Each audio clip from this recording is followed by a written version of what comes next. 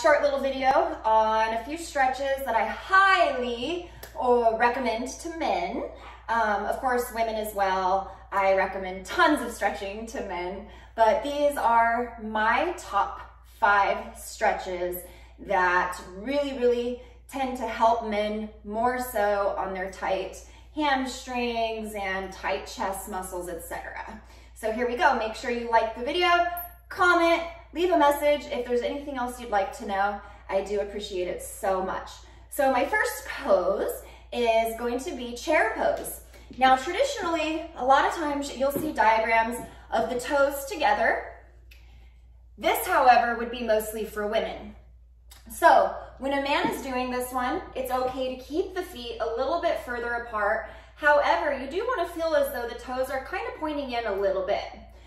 Now, what you want to do is bend here, raise the arms up, but very important to engage the back muscles so the arms are coming up towards the ears as much as possible. And then breathe through the nose, exhale, pull the tummy in. Now remember, we're always breathing through the nose using the belly. So five breaths. And second, a forward fold. Very important to inhale, exhale, fold, inhale halfway up. Now, if you happen to be a man that has very tight hamstrings, it's absolutely okay to bend the knees a little bit.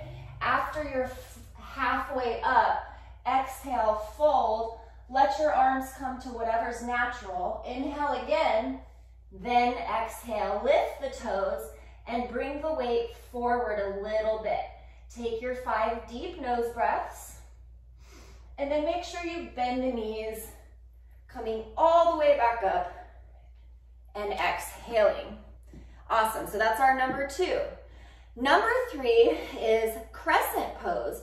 And I love this pose because men have a tendency to have a hard time with their leg back and their hips coming forward.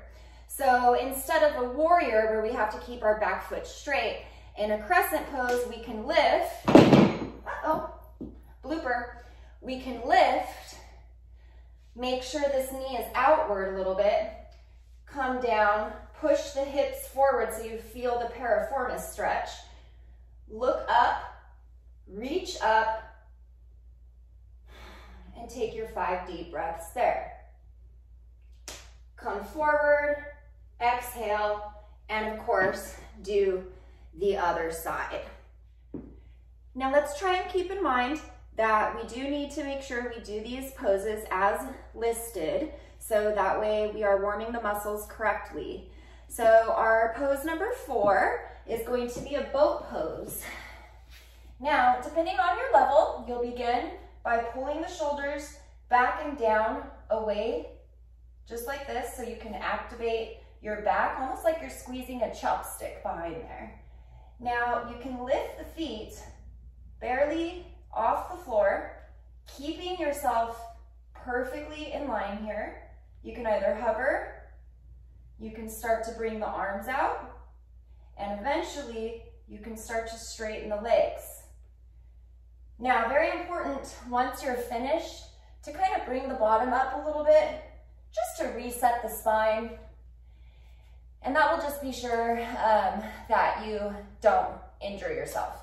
Of course, each level is very different, so practice with the beginning, and whatever you're comfortable with, complete your five breaths. Now our last stretch is for quite a few different things but it also connects our kinetic chain. What you wanna do is make sure that your back foot is pressing hard from the tip of the toe to the floor. Push your hips forward, move this one out.